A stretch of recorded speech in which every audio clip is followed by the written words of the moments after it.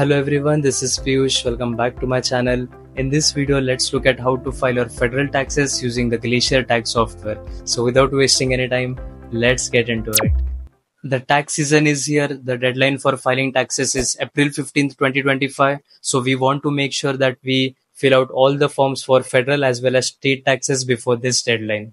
This video is specifically for people who have access to the Glacier tax software. This is one of the softwares that is provided by many universities across the US. I was a student at Purdue and they provide us with the Glacier tax software access. So if you fall into one of these universities that have access to the Glacier software, this video is for you. Glacier tax software files the federal taxes for us. You just have to input some of the data and they will fill out all the required forms for you. But a thing to note is that this is only for federal taxes. If you were working in any state such as Indiana, New York, California, it's your duty to fill out the tax forms. You can do it yourself or you can go to any paid agent to get that done. But the Glacier software is a good tool to file taxes for us, especially the federal taxes. So make sure you take complete advantage of that. Before you start importing your data in the Glacier tax software, make sure you have all the income forms ready with you. The main form that you would have for your income would be the form W2. If you work part time during the year, you work full time, you had internships, you will get a form W2 from your employer. If you had any investments or you put it in a high yield savings account, you will get a form 1099 INT, which is an interest income form. If you received any dividends from investment, you will receive form 1099 DIV. So there are quite a few forms that you might get, but the employers. It might be your university it might be any company. They will send out these forms typically by the month of february. So if you don't have it make sure to contact your hr or your payroll department to make sure you get all the right set of documents before you start working on the glacier software. So i will start sharing my screen and let's see how to file federal taxes using glacier. The first step is going to the glacier online tax software. Click this link right here and log in using your user ID and password. Make sure you read the terms and then click I accept. Then start with create update view my individual record and click on next. Make sure to select the option that is the most relevant to you. I'm no more a student at Purdue. I just graduated, so none of these apply to me. Earlier, I was a student worker during my part time, but now the most relevant option for me is this. So make sure you select the option that is relevant to you and then click on next. Then click on compensation wages if you received any income or select no income if you didn't receive any income from Purdue. Start by entering your first name, middle name and last name and enter your email address. This should mostly be the Purdue email address, but I don't have access to that email anymore. That's why I included my personal email.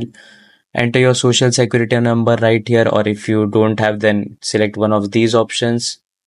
You can leave this blank if you don't have anything and then enter your Purdue ID starting with two zeros. Then click on next. Enter your US address where you are currently residing then enter your permanent foreign address might be Indian address or any other country that you are living in outside the US. Then select your country of citizenship and country of tax residence. Mostly it should be your country of residence if it's not US. So here indicate the institution that sponsored you or will sponsor your current US immigration status. Even though I graduated from Purdue, I still have a form I-20 which is still endorsed by Purdue University. So that's why I selected Purdue. You can select the relevant option from these three options. Then select your current immigration status. I'm currently on my STEM OPT, which is why I selected this option. Make sure you select the option that's most relevant to you enter your original date of entry, the date that you first came to the US, and in here you will select the end date of your stay in the US. It might be the end date on your I-20. If you have an EAD card, that might be the expiry date of your EAD card. Select the option that is relevant to you. I entered as a F1 student and still a F1 student, which is why I selected the first option.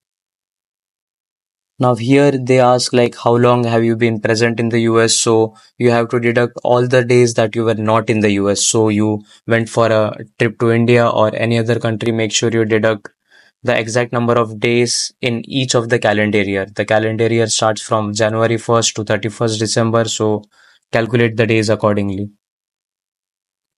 And if you had been to the US prior to your current visit, so before being an F1 student, if you had been to the US as a tourist visa or on business visa, make sure you select the second option and enter the information appropriately. Then the Glacier software would automatically calculate the number of days that you were present in the US in each calendar year.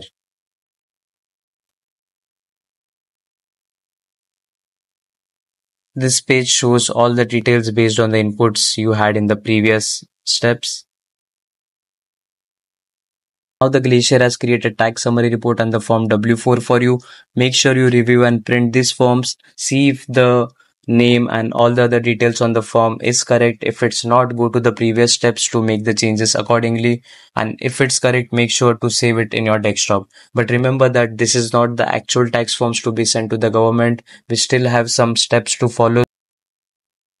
Now you have to make sure that all the forms that were received in the previous steps, the W4 and all the document copies mentioned before, whether it's one I-94, I-20 and so on, you have to mail the copy of these documents to the address and the person mentioned right here. Remember that you don't have to send them your tax forms, the actual tax forms that we will be filing in the next steps. Only send the documents that were asked for in the previous step and you have to submit these copies within 21 days as per mentioned here. So make sure you follow the timelines and send the documents on time.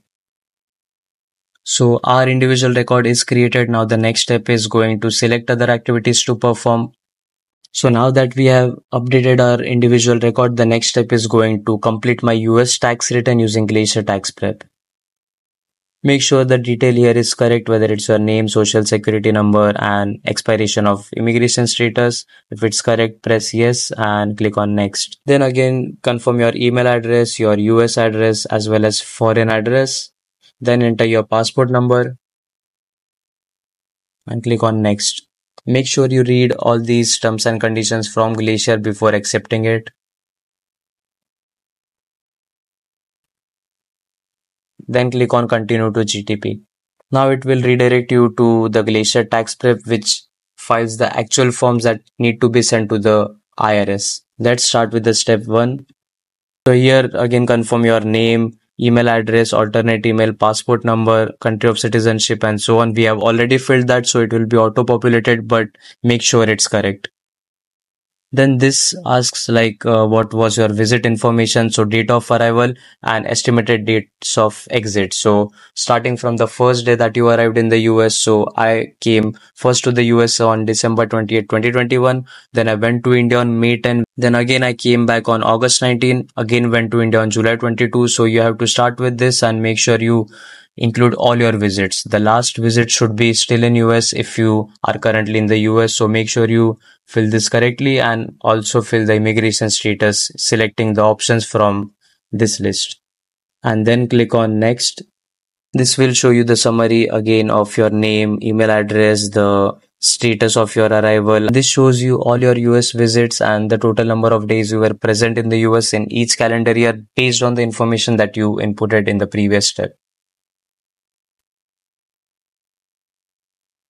So now they say that you are a non-resident alien for tax purposes. So Glacier Tax Prep will assist you in your tax filing because they are specifically helping the non-resident aliens. Let's go to the step two. In the step two, you have to add all the forms that you received from the government. The main form if you only work part-time should be the form W2, which you will receive from your employer. So whether you work with your university, you work with Aramark, ADP and so on, you will receive a form W2 typically by the month of January or February. So once you receive that, click on add form. Then make sure you input the detail as it is from your form W2. If you open your W2, you will see all these boxes right here. So you can put the identification number, the wages that you received exactly as it is. You will see the box one on your actual W2, box two on your actual W2 and so on. So fill out all these details. Then below you just click like who was the type of institution that reported this income. If it was a part-time from your university, click college or university. But as I graduated from Purdue, for me, it's a corporate entity. So I will select corporate entity and click on save. Then you keep continuing to enter all the forms that you received like it's not necessary that you will receive all the forms like for some of them or for most of them it should be only form w2 but some people also receive 1042s which is a tax form related to some tax treaties I think 1099B is if you had any capital gains from the stock market. 1099 DIV is if you received any dividends from the investment that you might have made. The 1099G is any refund that you received from the state or local taxes from the last year. The 1099 INT is the interest income that you might have received. 1099 miscellaneous is any miscellaneous income that you might have received. 1099 NEC is, I think NEC stands for not effectively connected income. I, am not honestly sure about 1099R because I never received that but make sure you enter all the forms that you had received accordingly and you will see all the boxes that needs to be filled.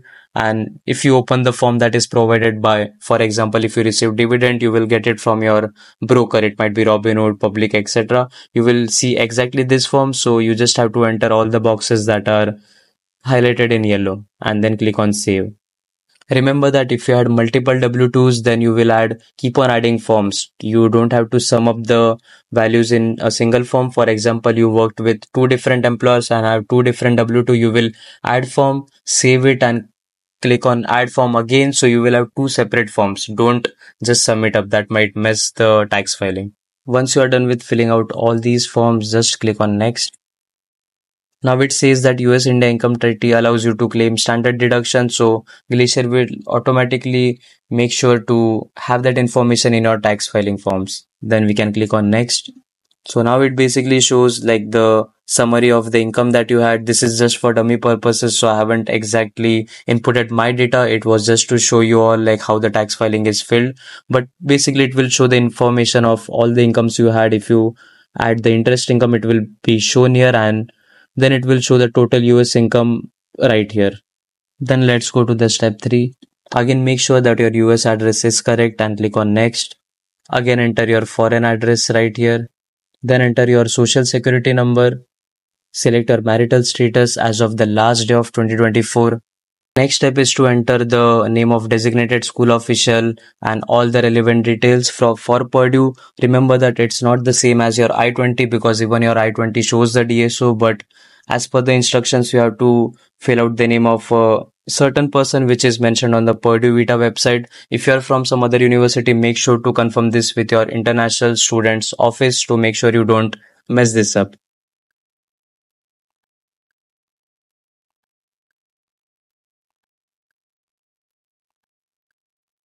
So this detail that I've filled right here is specifically for Purdue. So you can just copy it for other universities. Again, make sure you confirm it before filling these details and then click on next. The next is student loan interest. It asks like, did you pay any interest to a US bank? So it is not if you got a loan from India and you put the interest here. It is only specific to if you got a loan from a US bank or financial institution.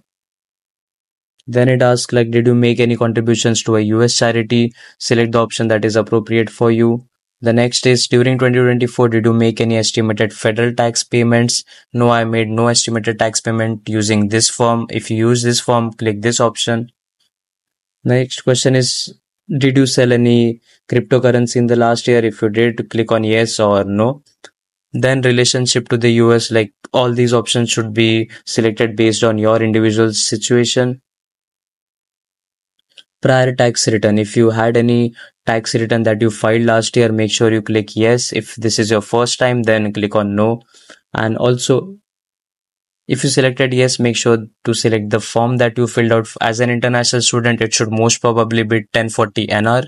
The next is like if you were eligible for a refund and you told IRS to apply it to your next year tax return, click on yes. But most probably we have the refund directly credited in our bank account after the tax filing. So most probably it should be this, but make sure you double check and read these options carefully. So it says, congratulations, you are due a refund. So as I mentioned, most of the students, especially from India, do get a refund as an international student. So Glacier will calculate that for you and say that, oh, you have a refund of these many dollars. Now, how would you like to receive your tax refund? The best option to select is direct deposit because otherwise they will send the check and it has a chance to get misplaced. So I would highly recommend you select this option where they credit the money directly in your US bank account.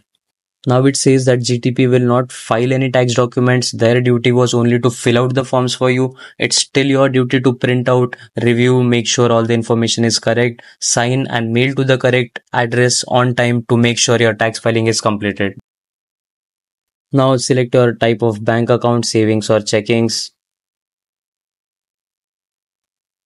And then enter your routing number and account number. Make sure to enter it correctly because this is where you will get your refund. If you mess it up, then your refund would be gone.